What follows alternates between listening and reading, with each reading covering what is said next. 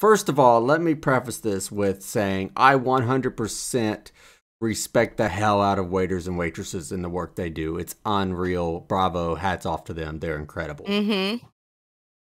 However,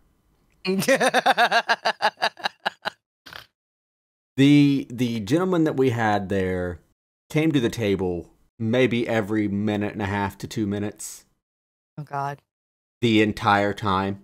It felt like he was coming to that table. I'm probably exaggerating, but it felt like it was every minute and a half to 2 minutes. And it's always when I'm taking a bite of food. But it's like as a waiter, aren't you supposed to be able to kind of read the room a little bit and look and be like, "Oh, they're talking, they're good, their waters are good, their drinks are good, they they're why would you just keep coming up every couple minutes when we're just like, "No, we're good after the fifth time. We're fine. we'll call you when we we'll need you. we'll call you." we'll tell you. Like, now, I'd probably be upset if they hadn't come to the table very often either though, too. So really, I probably just can't be pleased.